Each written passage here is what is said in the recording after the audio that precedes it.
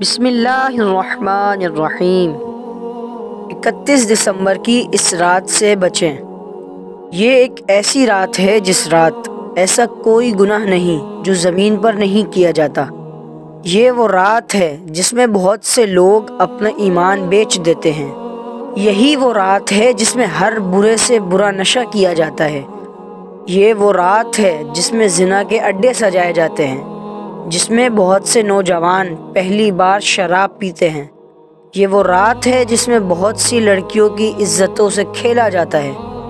ये वो रात है जिसमें बेहयाई, बेशर्मी खुले आम की जाती है। यही वो रात है जिसमें हर वो गुनाह किया जाता है जिसे दीन इस्लाम ने हराम करार दिया है। लेकिन अफसोस कि आज बहुत से मुसलमान इस रात को नया साल के जश्न मनाने में हराम काम करते हैं।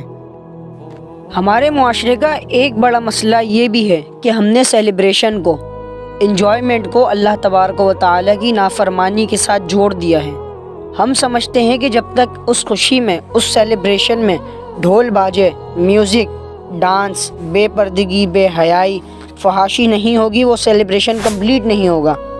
सेलिब्रेट करना खुशी मनाना इस्लाम में मना नहीं है, लेकिन खुशी मनाने की भी एक बाउंड्री है।